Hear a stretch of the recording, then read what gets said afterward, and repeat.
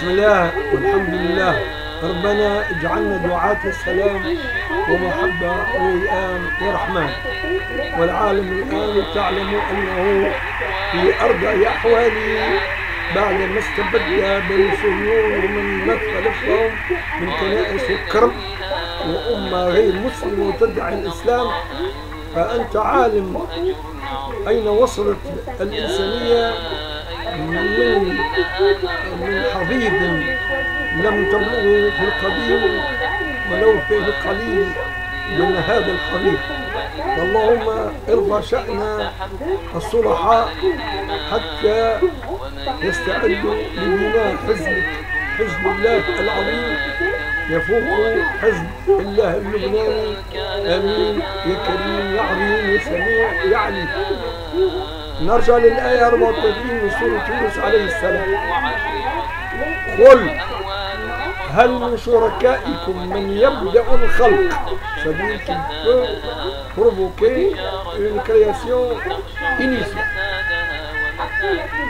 c'est impossible parce que y a créateur de positeur qu'Allah, le Dieu unique et le Dieu qui a tous les pouvoirs absolus. Et il est le seul euh, donneur de leçons et, et le seul qui donne les vraies valeurs pour que l'humanité, si elle suit ces valeurs-là, sera une communauté de succès et une communauté vraiment heureuse et vraiment bien veillante et bien pensante.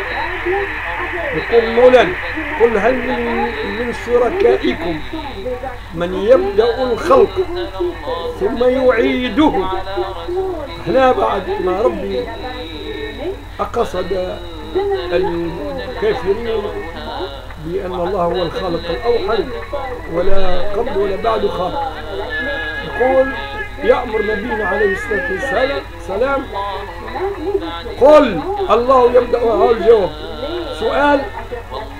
صدر عن المولى سبحانه وتعالى ذي الجلال والإكرام. وبعد ما أمر نبينا أمر نبينا عليه الصلاة والسلام باش يعيد السؤال. ها؟ لكن يعيدوا في قالب جواب إيش يكون قل. الله يبدأ الخلق ثم يعيده. إذا كان شركاء يملك بهم الإنسانية يكونوا من صائم يكونوا من كنائس ويكونوا من كرب ويكونوا من العجم من والإسلام على باطل. معناه مثلا ما حتى حد يجب يجيب لنا حقيقة ويبرر على ما مقولته أن ظن الشركاء يملك بهم هم الذين يبدأون الخلق. ولو ذبابة ولو جزء من كهين يعني ليش مش وربي يشير لهذا في آية. يا أيها الناس ضرب مثل فاستمعوا له. أن الذين تدعون من دون الله لن يخلقوا ذبابا ولو اجتمعوا له.